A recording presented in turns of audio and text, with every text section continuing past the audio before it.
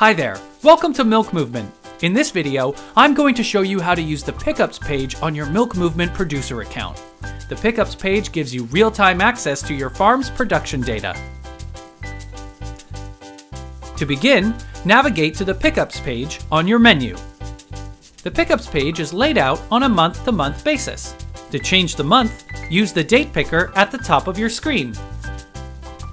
In the Pickups page, you will see all of your pickups for the month with information such as the date, route, temperature, dip, liters, and tank.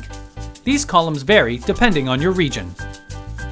To see additional information on the pickup, simply click on the pickup and click Inspect Pickup Details. Here you can see additional details about your pickup, such as the location or any notes that the milk truck driver has left.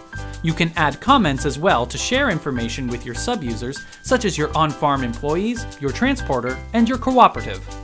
And that's pickups in your Milk Moovement producer account. Still have questions about Milk Moovement's pickup page?